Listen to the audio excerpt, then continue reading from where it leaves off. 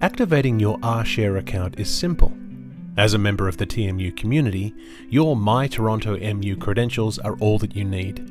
Simply navigate to rshare.library.torontomu.ca and click on Login in the top right corner. This will prompt you to enter your TMU credentials as you would for any on campus resource. Once you are validated, your account is now active. You may choose to populate your profile, upload materials, or browse our growing collection.